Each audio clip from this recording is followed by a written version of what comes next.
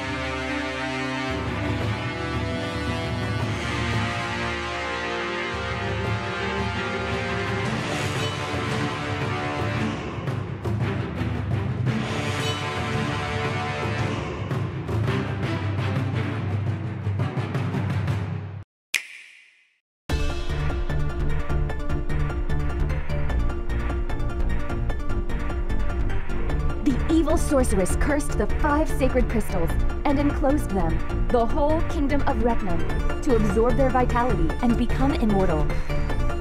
That is why I must take the sacred claymore, the only one capable of breaking the crystals, in order to defeat the sorceress and restore peace to the kingdom.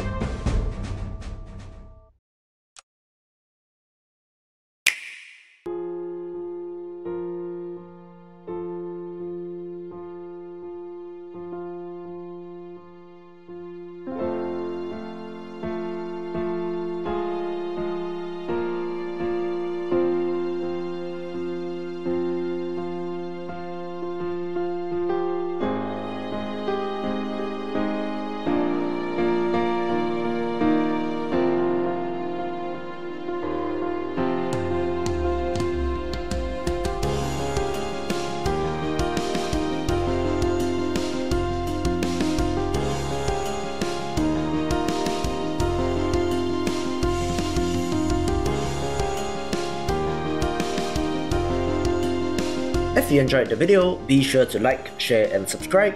Check out the recommended playlist or the best pick for you and I will see you after the jump.